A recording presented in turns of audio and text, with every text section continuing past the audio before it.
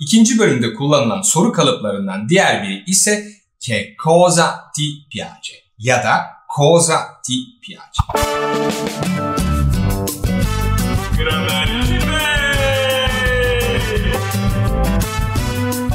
Hemen bu soru kalıbını inceleyelim. Che cosa ya da cosa bunun zaten ne manasına geldiğini biliyorsunuz. Peki ti piace ne demek? Şimdi buradaki fiile bakalım hep birlikte. Piacere. Siz bu kelimeyi birinci bölümde duymuştunuz. Profesörle maymun kardeş karşılaştıklarında ve tanıştıklarında piacere memnun oldum diyor. Piacere maymun kardeş. Ben de memnun oldum. Şimdi piacere memnuniyet, zevk demek. Ama aynı zamanda bir fiil, hoşuna gitmek manasına gelen bir fiil. Peki bu fiili nasıl kullanıyoruz? Soru geldi. Che cosa ti piace? Nasıl cevaplayacağız? Mi piace il caffè. Mi piace il caffè. Şimdi bu ne demek? Türkçe düşünelim birazcık. Kahve hoşuma gider. Bu cümleyi ikinci tekil şahısta kullanalım. Şimdi kahve hoşuma gider. Beni, kahve benim hoşuma gider. Kahve senin hoşuna gider. Kahve onun hoşuna gider. Kahve bizim hoşumuza gider. Fiil hep kahveye göre çekiliyor. Değil mi? Piacere fiili işte aynı böyle. Yani che cosa ti piace? Ti piace la pizza.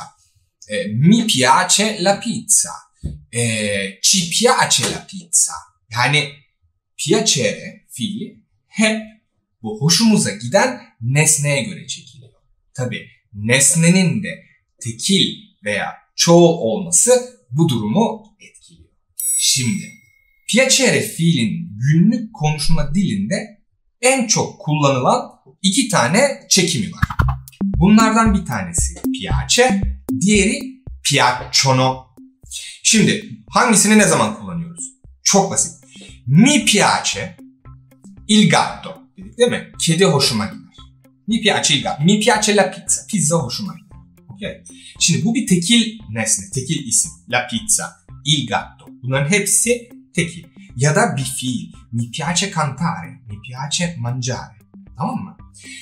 Peki buradaki hoşumuza giden şeyler tekildi ya. Bunu şimdi çoğul yapsak ne oluyor? Mi piacciono i gatti. Kediler hoşuma giderler. Şimdi ne dedik? Bu fiil nesneye göre çekiliyor ya. Yani bize göre çekilmiyor.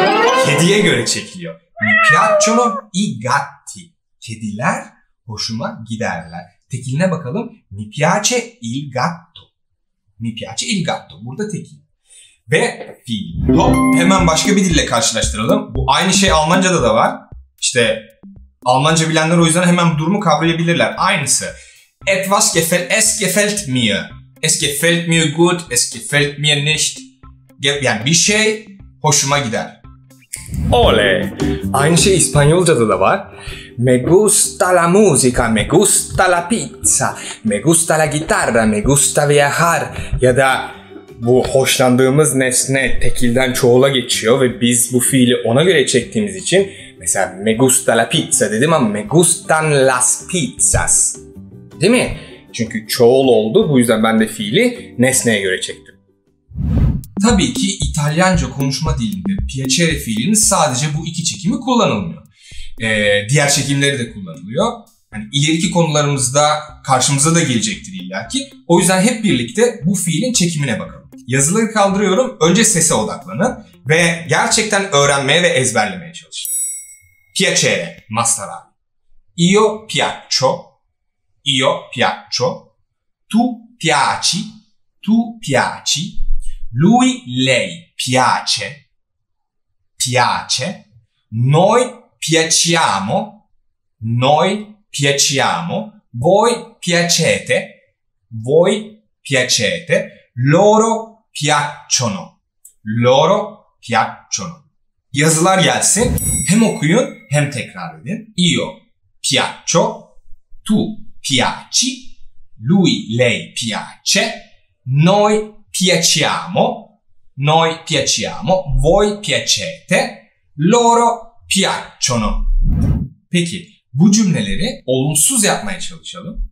Ne dedik? Mi piace la pizza. No? E, mi piace la pizza. Pozitif. Olumsuzunu yapalım. Non mi piace la pizza. Mi piace il caffè. Değil mi? Mi piace il caffè. Kahve hoşuma gider. Non mi piace il caffè. Non mi piace il caffè. Hemen başına non koyduk ve bütün cümle olumsuz oldu. Ya da mi piacciono le farfalle demiştik değil mi? Kelebekler hoşuma gider. Mi piacciono le farfalle. Non mi piacciono le farfalle. Yine aynı şekilde başına non koyduk ve bütün cümle negatif oldu.